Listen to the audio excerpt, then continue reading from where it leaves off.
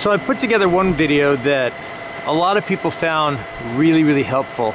And in that video, I talked about conventional filtration. Conventional filtration is something that's been around for quite a long time, and a lot of plants use conventional filtration. Conventional filtration goes coagulation, flocculation, sedimentation, and filtration. The filters in conventional filtration generally use your gravity sand filters at the very end.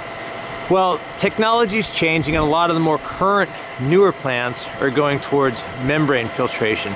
A lot of people found that video really, really helpful because a lot, most plants that still exist are conventional filtration. A lot of the testing problems, in fact, most of all the testing problems you'll see if you're testing for certification are based on conventional filtration plants. However, I think it's really good to also get a grasp of what a membrane plant might look like um, because there are a ton of membrane plants going up in the industry. It's kind of the wave of the future. And also when you go from plant to plant to plant, it's kind of funny. You could work at a plant your whole career and think you know everything about that plant and then go and actually take a tour of another plant and the things and the processes that they use are completely different. And then you can go to another plant and the processes that they use are completely different. So by viewing a few different types of plants, it really gives you a much more of a well-rounded base as to the type of things that happen in the industry. So that's what I'm gonna do today is I'm gonna give you kind of another quick walkthrough tour of an ultrafiltration membrane plant. This particular plant uses ultrafiltration membranes, like I just said. It has a maximum capacity of 40 million gallons and the membranes that it uses are submersible. If you're interested in seeing, hearing a lot more about membrane filtration specifically, go check out the podcast. Um, watersifu.com, W A T E R S I F U.com. I think it's number like 27, maybe. I did a whole podcast on membrane filtration, and that'll explain a lot of it in detail. More detail than I'm going to get into in this video here right now where I'm showing you the whole plant processes.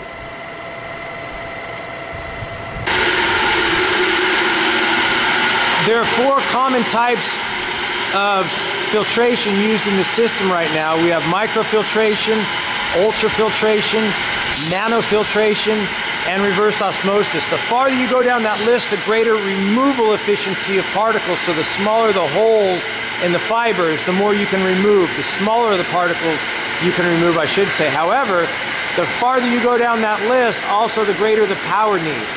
The first two things on that list, microfiltration and ultrafiltration, can be in pressure vessels or in submersible systems like we see here. What we're looking at today is ultrafiltration using submersible membranes, and we'll get into exactly what that is down the road. As you get into nanofiltration and as you get into reverse osmosis, you're going to be using uh, enclosed pressure vessels and the power costs are going to be way through the roof because you need much higher pressure pushing the water through those fibers. So what I want to do today is to start at the beginning of this plant and walk you through comparing this process with the last process of the conventional filtration plant that we looked at in the other video. Let's, we'll get here to these fibers a little bit down the road, but let's start at the very beginning of the plant right now. So here we are at the very beginning of the plant and we're gonna go through this process. Before I hop right into it though, I wanna answer the question, why, why membrane filtration? What makes membrane filtration any better than conventional filtration? Why is, um, why are plants shifting towards membrane filtration? Well, there's a number of reasons. For one, although this is a very, very large plant, you have the capacity with membrane filtration to filter the same amount of water in a much smaller place. So you can filter, for example, 25 million gallons of water at a membrane plant at easily a quarter the size of a conventional plant, filtration plant. Also, membrane plants, I talked about the four different types of membranes. Well, even at the lowest level, for example, of microfiltration, the removal efficiency of microfiltration is much greater than the removal efficiency of conventional filtration using sand filters, gravity sand filters. And state regulations are getting stricter and stricter all the time, which is actually forcing plants away from more of the conventional type thing towards membrane filtration. So for the removal efficiency, for the greater um, use of space, those are some of the most common reasons that people are switching towards membrane filtration. Remember if you looked at the last video on direct filtration, we had coagulation where everything happened in a flash mix and we add coagulant chemicals to the water.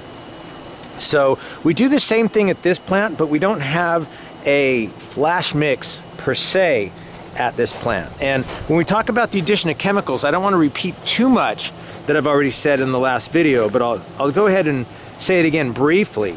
Um, water in its natural state has no charge most of the harmful particles that are all going to be in the water have a slight negative charge to them. So what we do is we add coagulants to the water, which are generally metallic metals that have a positive charge to them. And then we have a rapid mixing motion where the water gets mixed up and these positively charged coagulants get mixed rapidly throughout the water so they can all bang together and catch those negatively charged um, harmful particles in the water and they kind of stick together to each other. That's the process that they call coagulation. In most places, that happens in a flash mixer between 30 seconds to a minute maximum. In the last treatment plant, you saw that happen in a flash mixer. This is a little bit different. And here you see the injection of the chemicals. This plant used to inject ferric iron. Now they just switched to something called aluminum chlorohydrate. And they're getting better uh, cost out of aluminum chlorohydrate because they can get the same results using much less chemical, which passes on the cost of savings down to everybody on down the road. So no flash mixer here. No flash mixer, but as you can see, they're injecting the chemicals right into the line as it comes in. And what they use is the mixing process. There used to be a mixer here. You see that right there but they found that it wasn't as effective and they were having problems with it breaking. So they actually use the hydraulics of the pipe. This water comes in, hits the end of a pipe at a T right there and tees off two different directions and then 90s again and goes through this valve which they use keep slightly throttled to basically cause that stuff to mix together right through that little area right there pretty roughly and they've found it at this plant to be very effective. Now you're seeing what is kind of similar to what we saw at the last plant here. Remember at the beginning of the last plant, the conventional plant video, there was basically four different areas. There's two different sides and each side had two different areas within it so that in peak demand, you can have all four sides running. But as the flow didn't need to be so great, you could turn one side off, you can use it offline for cleaning and so forth, and you could only use the other side as well. Same thing as with this plant. So we have the replication, we have the water come in, and the water splits towards two inward pipes. There's one pipe right there, and there's the other pipe right there. So you could have both these pipes running as far as the water coming in on both sides of capacity, or you can only have one running. In this case, this plant today only has one side running, which is awesome, because I'll be able to show you the side that's running and compare it against the side that's not running. And then each of these two sides further split into two more sides. So very, very similar to the last plant, where we came in, we had the flash mix, and then we had those flocculation basins, that there were four different basins. This plant has four different basins that the plant can go through as well. And we're gonna hop up to that part next. Just like the other one, we have our mixing here, and then we're gonna go into the flocculation, which is more of a gentle mixing area. We'll show you that in just a second here. So the water comes in at this plant through either one or both of what they refer to as a train here, train one and train two. Right now this plant only has one of the trains running, the other one is off offline. And you have the mixing of the chemical down there like we just showed. And then the water hits this 190 and then goes through another 90 right here. And then it goes into either these units that are running. This plant at this time has two units offline. That initial area works kind of like hydraulically kind of like the flash mix in my direct filtration video or my conventional filtration video. Very similar to that last plant, then what this plant does is it goes through a period or a series of baffles where we have a gentler mixing, where those floc particles that are coming together, those positive and negative particles, uh, the positively charged coagulant, the negatively charged ion, where we want to have a gentle mixing so those flo- those particles can come together and form kind of a heavier, perfect sized floc. Different plants will do different things, like the last plant. They accomplish that here through a series of baffles. At the last plant, if you remember, there were walls that had holes and it would pass it through a hole high on one wall, then a hole low on the other wall. Well, this one has walls that it sends it over and under, and then through a series of baffles in the process. The water comes in from those trains and there's a compartment here. It comes in through several holes on the back wall, which are a little too dark to see at this point, but they're square holes in the wall. And the water will come up over this wall here, and then it goes down through all these baffles. These baffles were intended to direct the water to kind of mix it um, without actually having a mixing arm that would have power costs and consumptions and things that could break. So it directs it all different ways. You can see those baffles don't all point in the same direction as it goes down through layers and layers of layers. I think there's four layers of baffles here. And then there's another wall here. So we go over that first wall, under this second wall. Then on the other side, it goes up again through these baffles, over this wall, and then down again and under this other wall. So this other wall, it goes under that other wall, and it comes up into the next section of what this plant refers to as pre-treatment, basically trying to get the water exactly where you want and as pure as you want before even sending it to the fibers, which is pretty awesome. I've seen treatment plants and the treatment plant we used to work at before, we could take the water straight out of the creek and send it straight to the fibers without doing any of this. That was a 5 million gallon plant. This is a 40 million gallon plant. Um, but they also they have you know several other things in place to prepare the water prior to just directly hitting the fibers. So like I said, number of different ways that you can treat the water. Let me show you how this looks for something that's online. I'll turn around behind me and show you this. So you see the water, it's coming over that initial compartment that I showed you, and it's cascading over that water. So you have a mixing there, then it's gonna go down underneath that wall. It's going through baffles here, on the other side, it comes up through that wall, and you can see the water's not just ripping through there, it's a very, very gentle mixing. And as that water gently mixes, it forms floc particles, which you might be able to see in the water down there.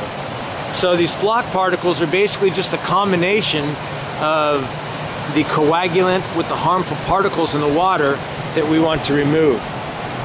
Then it goes down under this next wall and this comes into a, uh, a next area that they call the ZAF, uh, DAF, a dissolved air flotation. And this is unique, and this is another current technology. What a lot of places do is they have a sedimentation tight basin, and what they'll do is the water moves slowly through that basin, and those floc particles settle out to the bottom, and then they skim the water off the top.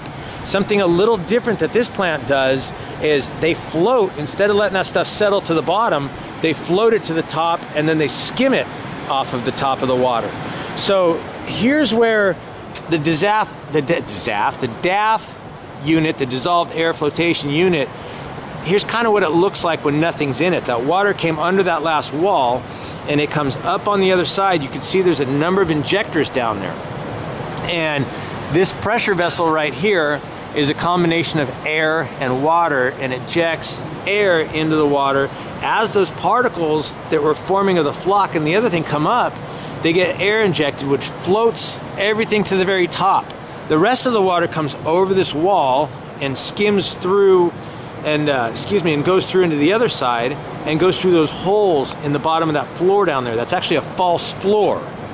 So that water comes through that false floor, comes up on the other side here, and then goes over this wall.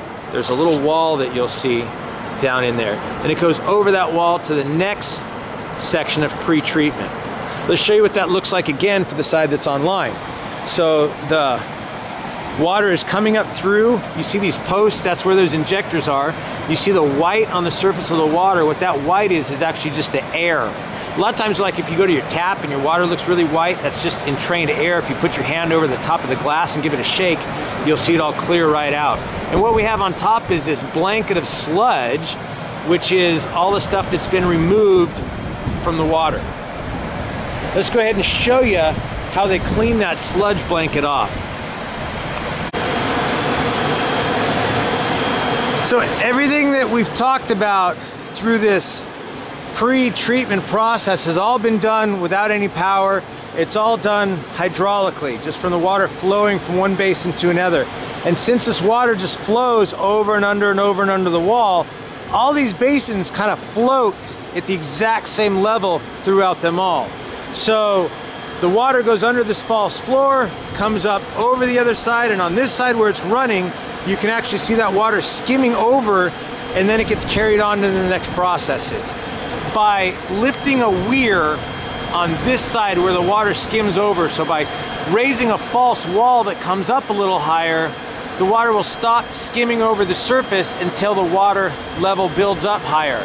By building the water level up higher there, it builds the water up higher in tune all the way across this pre-treatment process because remember all this floats together.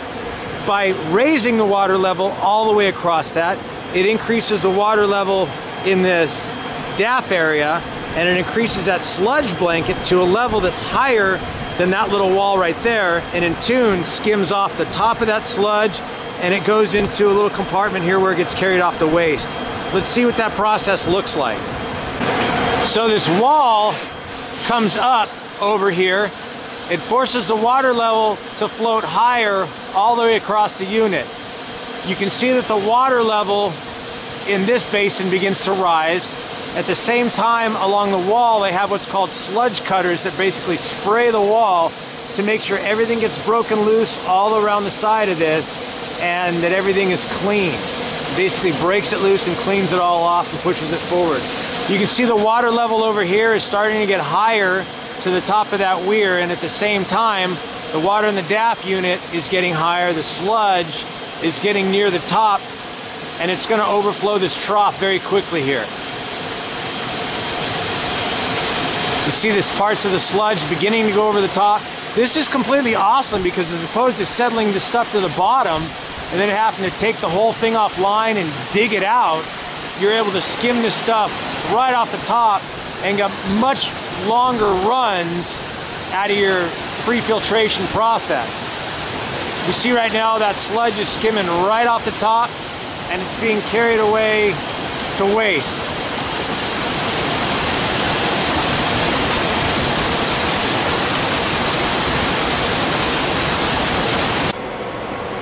So just to recap real quick with this plant, we've had the addition of the coagulant, the hydraulics of the turning of the pipes served kind of like the flash mixer, kind of like the coagulation process.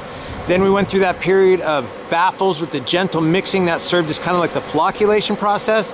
Then as part of the pre-treatment the pre-treatment in this plant, they had those DAF units, dissolved air flotation, where they skim the particles off the top. Worked kind of like a sedimentation type thing. Now what happens in this plant is they have to take care of their source water to treat it properly in terms of alkalinity and pH. So that's what happens in this next step of the treatment at this plant. They have an alkalinity and a pH adjustment. Remember, you want to have your water at an ideal pH. A lot of plants shoot for like 8, 8.1.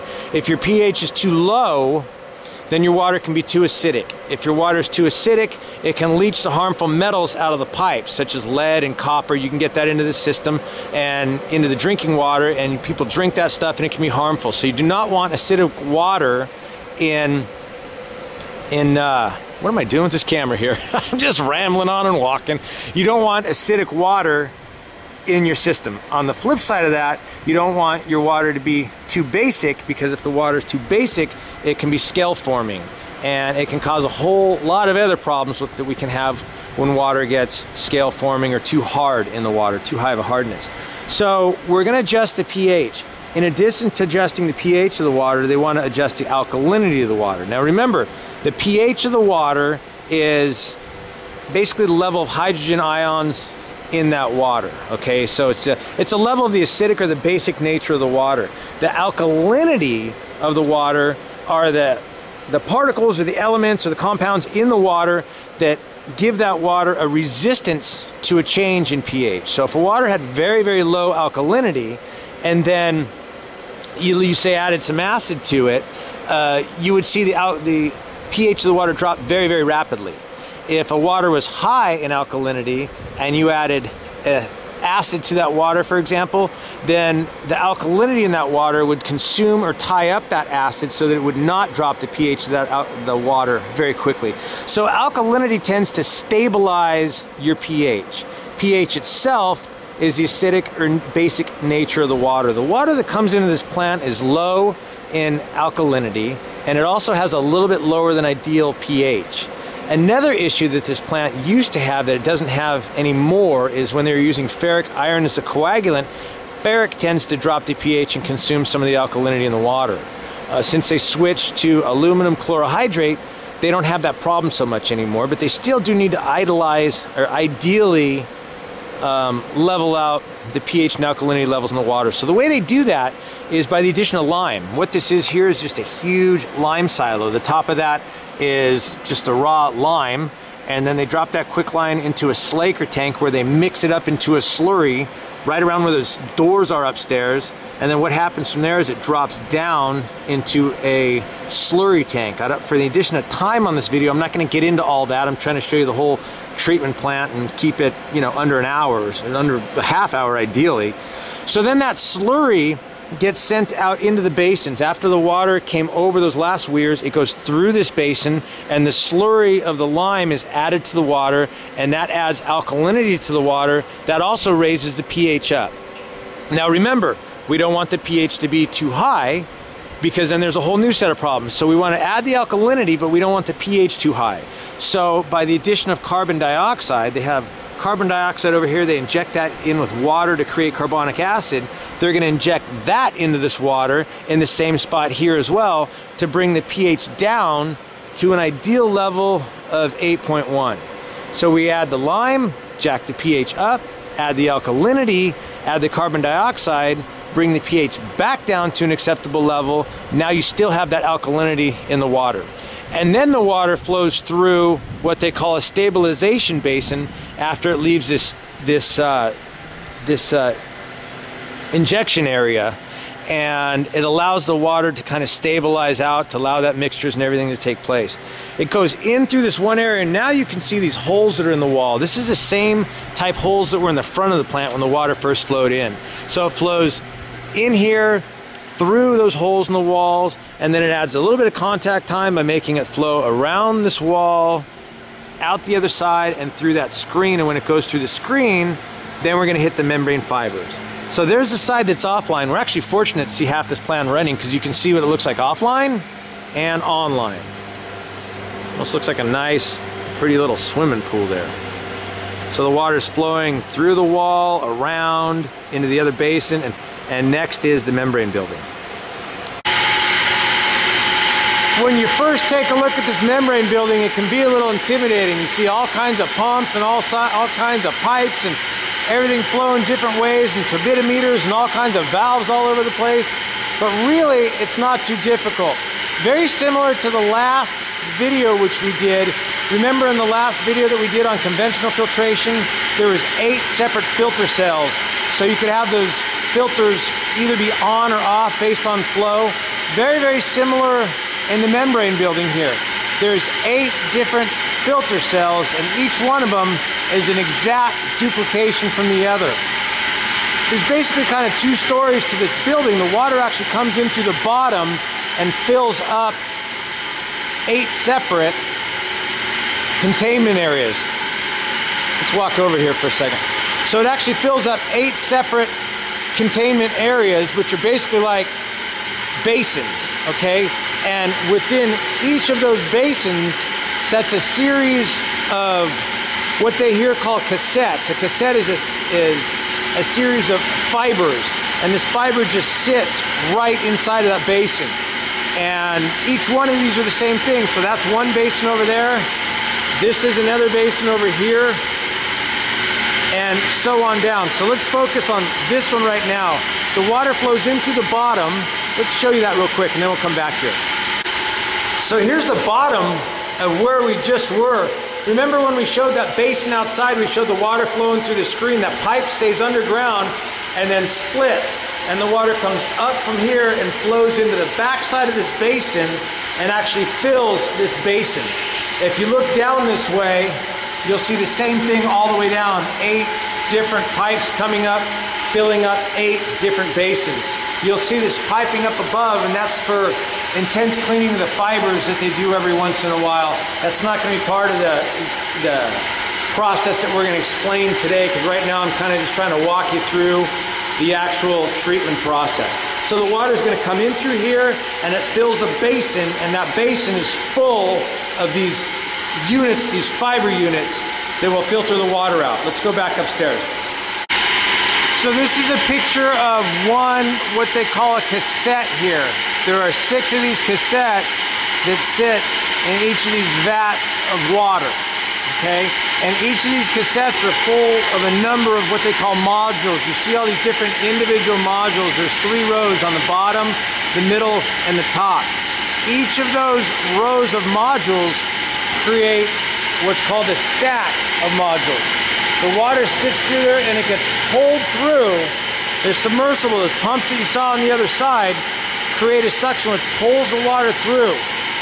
The water comes out through these, these permeate ports and they meet on top into a main port. They all tie into that. The water comes down through this main port and each of where these connect to come out of a port for each stack. It comes out of each of these and it ties into a main header. The main header goes down to the end. This is the main, the main header comes down to the end here and it ends up going down. The pump right there is what pulls it out and it ties into a large permeate header. And each of these trains tie into that permeate header where all the water is collected as an aggregate and sent out of the filter portion of the plant.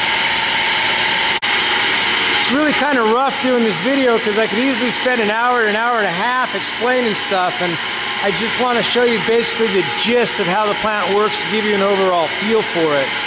Here's that cassette back into the ground. You can see each of those individual stacks have a ball valve of itself on top so that you can isolate that like I said, I could spend a lot of time talking about the processes, but I don't really have time for that. There are two things that I want to explain to you quickly. Um, one's called the membrane integrity test. These fibers are all tested once a day to make sure that the fibers are upholding. Um, basically, they test them for any leaks.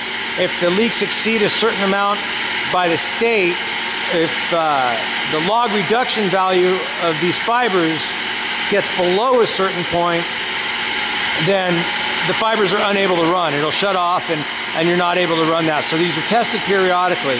You can also, if you have any leaks on certain stacks or any of those units, isolate that entire stack with these valves right here. You can isolate a valve, you can isolate a certain cassette, which is basically one of those larger units. If you have problems with the whole train, you can isolate a train and still run all the rest of them. The other thing I wanted to talk about is backwashes. If you remember in the last video, we were talking about backwashing those sand filters, and I showed you how that works. Well, you also have backwashes with these membrane fibers. And how that works is pretty much exactly the same as the sand filters do. You reverse the flow. Obviously, if you're pulling water through these fibers and things are collecting on the outside of them, they're going to start to get kind of clogged up on a while. So based on a number of factors, based on the pressure that builds up from the outside to the inside of the fibers, based on the flow that's leaving the, the, uh, the train, based on a certain amount of time, There, there's a need to backwash these, what they call trains, these individual units. And how they do that is basically by reversing the flow. The flow that leaves the unit is stopped. So this valve right here going down to that pump, that valve right there closes. This valve here would open up and this sends clean treated water back. Instead of coming out back the opposite way, it comes in through the top port, it goes down into each of those units, each of those cassettes, through the inside of the fibers and out of the fibers into that tank. So it blows that stuff that's built up on those fibers off of the fibers. At the same time, the water that's coming into the train, the, un, the unfiltered water, still continues to come in. So you have an excess of water coming in, nothing's leaving, water's coming in through two ports, and it actually overflows this, this train, this compartment here. The water overflows this, and there's these little catch basins you can kind of see one right there, these cassettes sits right in there. So it overflows these catch basins, it overflows the cassette. Under this yellow grid is actually a channel underneath, and it carries that water out along that channel into a larger channel and out to waste. Check it out, right as I was talking about it, a back pulse actually just started happening on this exact unit. How awesome is that? So that one valve opened up, sent water reversed. It's coming through the fibers in the reverse area and it's overflowing into that channel. You can see the channel right there. The water's overflowing into it. They're being carried out into this main trough right here. I don't even know if you can see through there, but the water's being carried out into that trough and on and out. Nice, nice filming, Ty, filming the lid.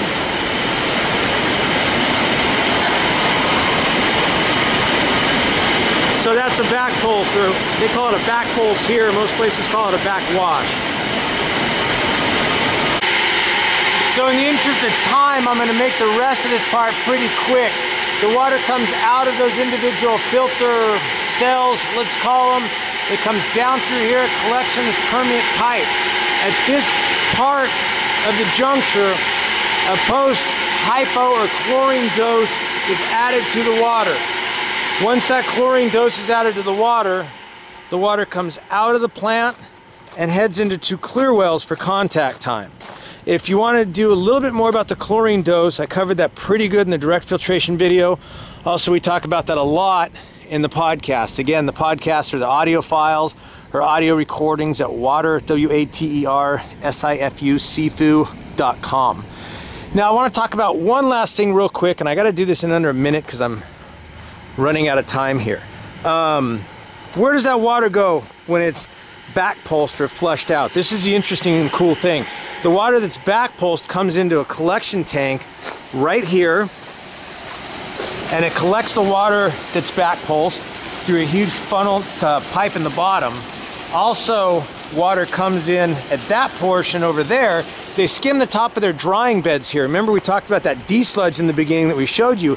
The desludges go into these large drying beds and the very top of that gets skimmed off goes into that wet well and they're able to reuse 10% of their water if the turbidity is low, send it right around to the front of the plant, to the very beginning of the plant, and retreat it so you have very, very little waste. So that's kind of this plant in a nutshell. The water heads to these, these uh, holding tanks to allow contact time, and then from there, it's sent out to the system. So I hope you enjoyed that. Once again, that was an overview of a 40 million gallon ultrafiltration membrane plant using submersible membranes, using DAF pretreatment, using lime and carbon dioxide to adjust the pH and alkalinity of the water. And uh, there's the membrane building again. And sent out to the holding tanks. If you enjoyed that, go ahead and check out some of my other videos that I have on YouTube. I have that one on direct conventional filtration. You really should watch that one to go along with this. And if you enjoy the videos, check out the podcast. I have an audio podcast that's available in iTunes or you can listen to it directly at the website. Download them completely for free and take them with you where we talk about the water industry. That website is water, W-A-T-E-R, S-I-F-U, watersifu.com. I only got about a minute left on this recording, so that's why I've been kind of pushed at the end. So I'm going to cut it short and take off. It's Super Bowl Sunday, and I'm sitting here recording this thing on Super Bowl Sunday. What am I doing here? My Niners are in the Super Bowl for like the first time in 18 years. First time since Skippy was a pup, and Skippy's dead now, as they say. So uh, onwards here. I hope they win. I'm going to feel really stupid for bringing that up. Go Niners. And I will catch you guys later.